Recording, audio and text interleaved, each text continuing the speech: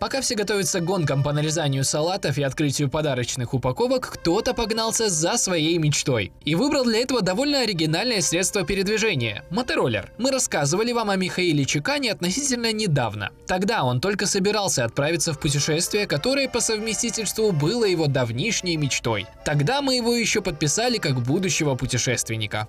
Я му віз е, везде з Італії під Уроць. У меня есть мечта – исколесить Италию на двух колесах. И так выходит, что эта мечта осуществится этой зимой. Да и в общем, Италия – отличное место для посещения. По возвращению же я планирую создать документальный фильм о своем пути, а после, объединившись с друзьями, хотелось бы написать книгу. Сегодня, как и обещали в прошлый раз, мы возвращаемся к вам с новостями о римских каникулах Михаила. Сегодня наш путешественник находится в Риме, любезно предоставив нам эксклюзивные кадры со своего маршрута из Италии в Молдову.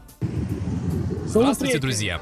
Сегодня я нахожусь на Лаго Ди Гарда. Попал я сюда на неделю позже запланированного из-за нескончаемых дождей, заставивших меня переждать в Милане. Находится это место на расстоянии около 100 километров от Милана, и оказавшись здесь, понимаешь, что каждый пройденный километр стоит того. Красота тут неописуемая.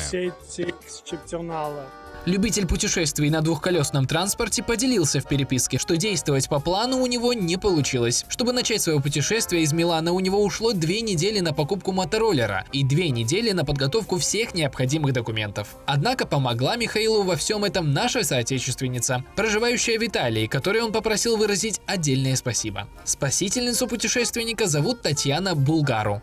Однако, несмотря на все трудности, Михаил не растерялся и наслаждается дорогой по полной.